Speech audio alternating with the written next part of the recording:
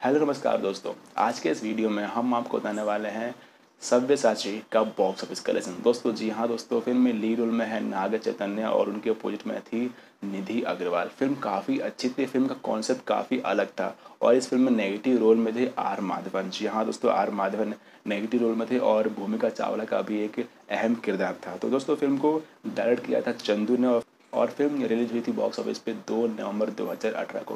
आइए बात करते हैं सव्य चाची का बॉक्स ऑफ़िस कलेक्शन के बारे में। तो, तो फ़िल्म ने आंध्र प्रदेश और निज़ाम में कमाई की थी 8.03 करोड़ की और फ़िल्म का world wide box office collection था 9.08 करोड़।